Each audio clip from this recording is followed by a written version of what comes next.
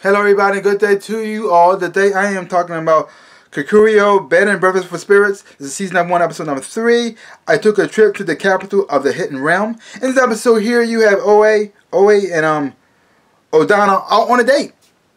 That's what it seems like. He, he, he takes her to the, the capital of the o where, with the, where the head one is, and he takes her out there. He takes her, takes her to a nice restaurant. He, he, he, um, he, he, he introduces to somebody else who also knew his grandfather.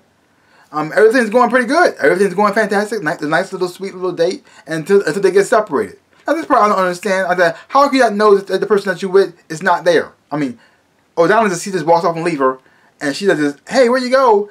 Because she drops she, she drops her um her fan. She goes to pick it up. He's gone. Now I don't know who he was talking to this whole time. I mean, I don't know. He couldn't notice that somebody, the person he was with, isn't there anymore. But whatever. But still, they separated, and next thing you know, a lot of Oishi is trying to eat her.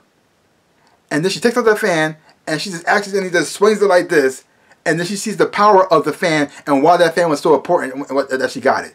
Because it seemed to have the power to blow away all other um a little Oishi. I was like, what in the world?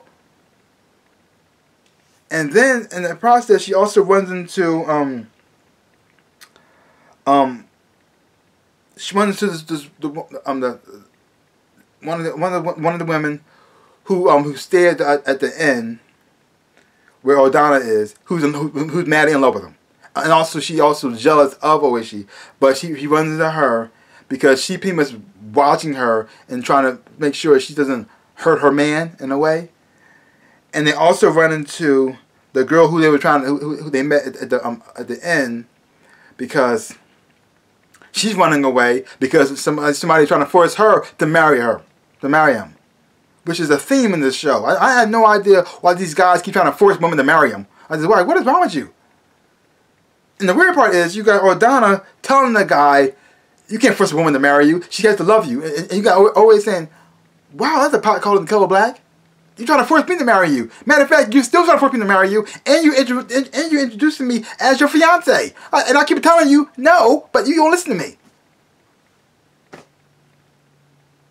So this episode was just weird. I mean, it, it started kind of sweet, sort of in a way. I mean, you still got Odanna saying a lot of weird stuff because because it had a moment they were, eating, they were eating together, and she asked him, "What's your favorite food?" And he talked about the intros of humans. I just like, no, no, dude.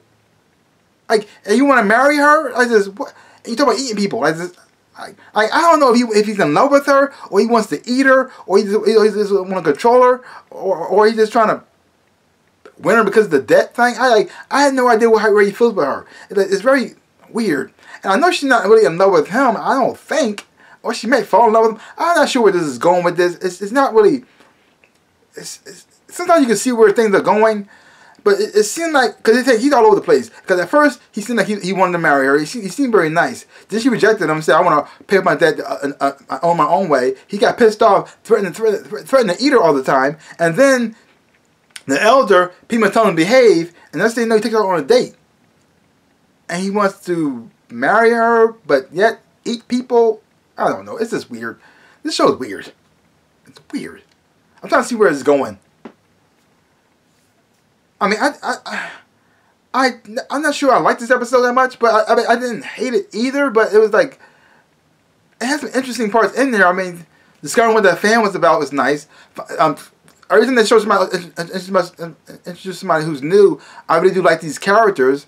Just that sometimes they, they do things that just like this. I don't understand what, why. I just, what? Hopefully it pays off in the end. We'll see where this is going. Because even though um, Oe is not really in love with um, Odanna, she did help him out in this episode and, and defend him using the fan.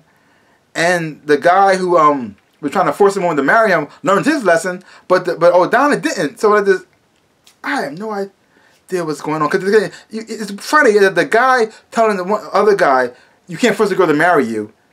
She has to love you. And while he's doing the same exact thing, too, so like this, what? But overall, interesting episode. Weird, yes. I'm gonna see the show. I'm gonna see. I'm gonna keep it going with the show. I want to see where it's going. Cause it, it has the whole soap opera type of feel to it. It's like a, romance story, and I and I and, and I and I was wrong last episode because I, I, thought for sure it was gonna be like a love triangle situation going on between um Oe, um, Odanna, and um, Genji. But I don't think Genji's like in love with her anymore. I, I, I, first I thought some chemistry between them, but I, I, guess I was wrong on that part. Or maybe they might be still going in the direction. I, I had no idea. But all I know for sure they're gonna be she's gonna be working with Genji in the restaurant.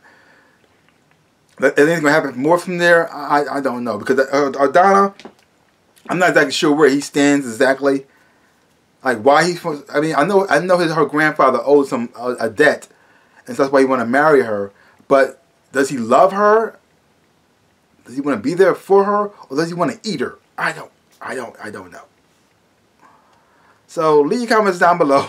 Let me know what you thought of this episode of this episode. If you haven't watched it, check it out for yourself. Hope when you watch it, you will enjoy it. Have fun watching it too. And sorry, I haven't been saying anybody's names. I'm having a hard time getting these names down. Just yeah, I'm I'm working on it because I'm not.